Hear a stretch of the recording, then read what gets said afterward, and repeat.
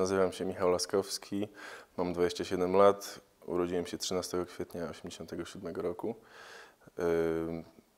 Aktualnie pracuję w Białostockim Centrum Onkologii na stanowisku elektroradiolog. W ogóle ta praca otwiera mi oczy, tak? poszerza moje horyzonty, zwłaszcza jeśli chodzi o tematy życia i śmierci. Na co dzień, no na co dzień pracuję z ludźmi, którzy umierają, tak?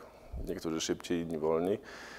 No ale, no ale kończy się to tak, jak się kończy, przynajmniej w większości. Na części oczywiście udaje się uratować, tak, z pomocą odpowiedniego leczenia. Wszystko wiąże się z tym, ym, gdzie pracuję, tak? Pracuję w, w szpitalu dla ludzi chorych na nowotwory. Wiemy, że trzeba szanować życie bardzo. Korzystać z szans, które tak daje los i nie marnować czasu, na przykład na jakieś gierki. Uważam, że to zupełnie niczego nie wnosi. Życie jest strasznie krótkie.